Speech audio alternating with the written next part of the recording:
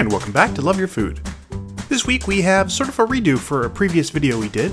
A little while ago, actually quite a long time ago, we did a video on brisket, and this week we are doing the same thing, but we're doing it sous vide this time. So this is the same dish, but we're doing it in a completely different method that comes out with a very different final product, but also extremely delicious. So let's get going with our ingredients. So here's our brisket. Uh, we just got a full brisket here. We're gonna get some onions in there as well, tiny bit of liquid smoke, some garlic, some dill seed, a hot pepper, some allspice and a clove, some pink pickling salt, some regular salt, and some black peppercorns. And all the spices are going to get sort of burred up together.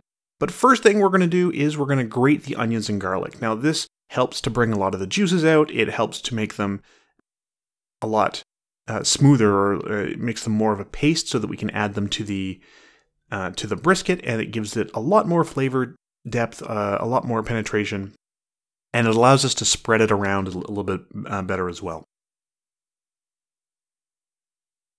So we're going to do that to uh, both of those onions, and then we're going to, on the smaller side, we're going to use it for the garlic, and we're just going to grate the garlic as well.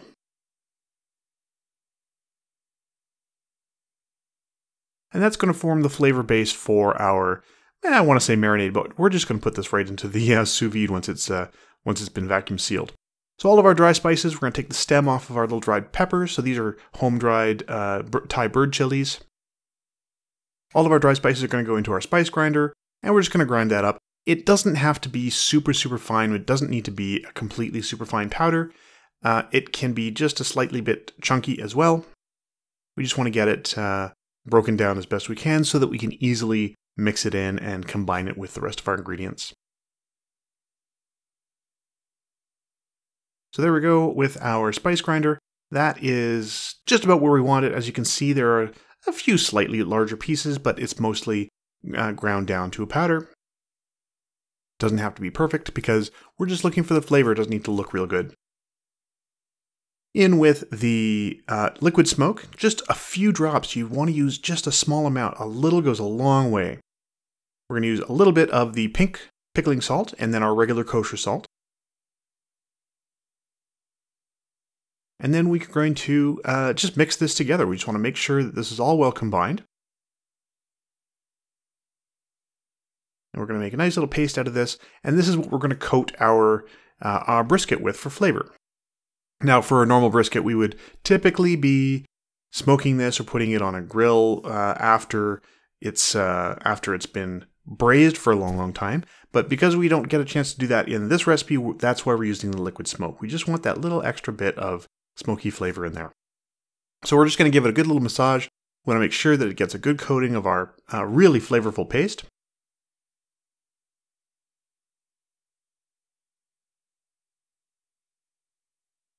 And then we're going to pop it into one of these vacuum seal bags. So uh, if you're doing this single-handed, if you're doing this one person, uh, just pop your bag into a big measuring cup or something uh, large that'll uh, let it stand up, and you can just slip it in like that, and then make sure you get all of that amazing flavor in there as well. You want to get all of that onion and spice paste in there to uh, cook with your brisket so that all of that flavor is going to come out.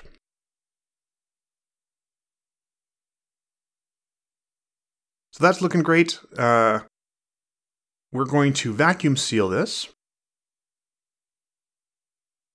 And we just have one of these pretty affordable little uh, vacuum sealers. You just pop it in and press the button.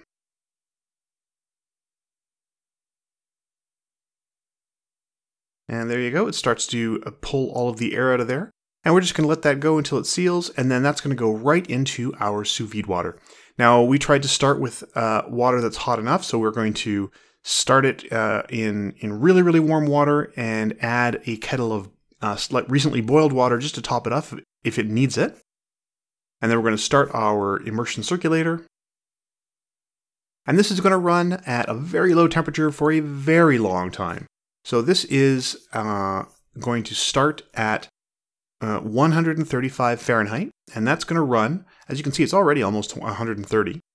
And this is going to run at 135 for 48 hours, and it's going to cook in over uh, two days. You can see here, Chef Caleb is going to put the 48 hours on the timer. And off we go. And uh, we're just going to cover that. We've got our sous vide in a cooler here. We're just going to cover that with a styrofoam top, and it's just going to go. Uh, it's uh, very, very efficient in the cooler because it keeps the temperature very well. And then once everything's done, we're just going to pull that out.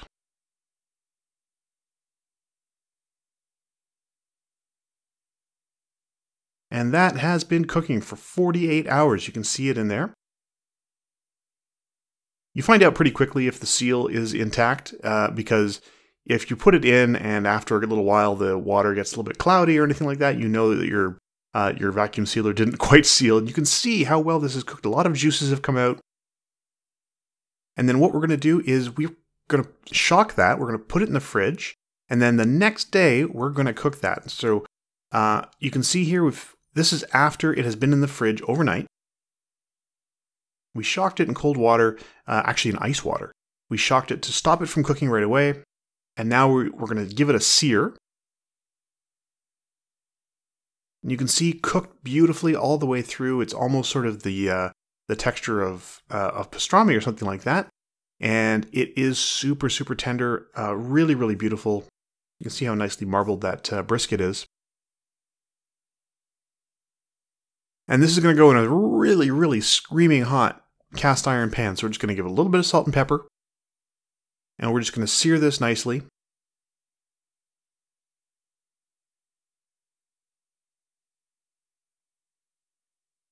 We're going to do some really nice thick slices and into our beautiful hot pan it goes. So that's a really hot pan. You can see it start smoking right away.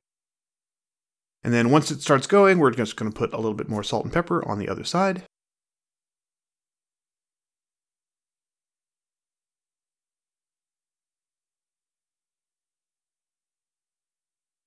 Now, of course, the salt and pepper helps to make that beautiful, beautiful crust when you sear. And a little bit of black pepper. And we just want to get a little bit of color. We just want to get it uh, nicely seared and hot all the way through. And you can see a lot of fat is rendering out. It's, it looks kind of like bacon almost. And we're just going to flip that over and you can see that beautiful sear. A lot of color on there. That is gorgeous.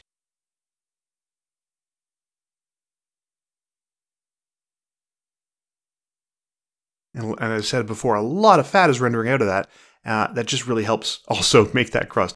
Now we're going to serve this. We made a little bit of creamy coleslaw and uh, some nice tangy little dill pickles and some raw onion. That's pretty traditional for uh, for a barbecue. And that's it. That's uh, that's the whole dish. Really, really simple. Brisket done this way uh, is extremely versatile. You can do the uh, grits and brisket that we did on our channel a little while ago. This goes amazingly well in a sandwich with pickles and cheddar cheese. Uh, very highly recommended. Really, really um, easy to do when you do the sous vide method because it's just put it in there and forget it for a couple days, and then 48 hours later, you've got this beautiful uh, this beautiful dish to serve. So, if you like this recipe, please do like and subscribe. And if you have any recipes you'd like to see Chef Caleb try on the channel, please let us know in the comments below. And remember to love your food.